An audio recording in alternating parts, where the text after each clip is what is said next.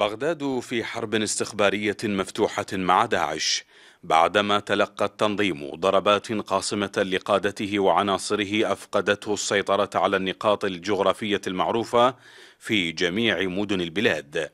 جمع المعلومات والبيانات الخاصة بالخلايا المختبئة مهمة تتبادل فيها الأجهزة الاستخبارية المختلفة الأدوار لتصبح متاحة أمام القوات الموجودة على الأرض أو القوة الجوية للانقضاض على الأهداف.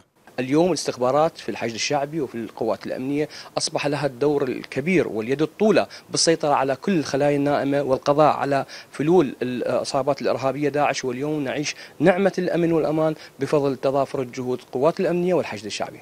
ما تنفذه القوات العراقية المشتركة من الحشد الشعبي والجيش العراقي وقوى الأمن الداخلي وجهاز مكافحة الإرهاب يأتي ضمن خطة محكمة وضعتها بغداد لإنهاء أي استنهاض لتنظيم داعش من جديد. عبر زيادة الارتكاز الأمني عند الحدود وتنفيذ عمليات تفتيش وتمشيط مستمرة في المناطق الرخوة أمنية. نحن الآن نجحنا فيما يخص قتالنا مع داعش الإرهابي وبنيت منظومتنا الاستخباراتية والأمنية على ما نحن عليه الآن.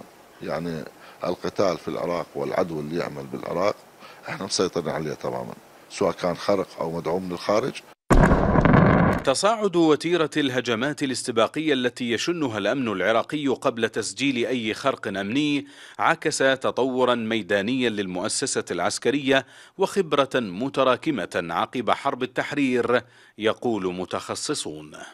بغداد عازمة على مواصلة عملياتها لردع داعش بعيدا عن محاولات التنظيم الإرهابي خرق الميدان.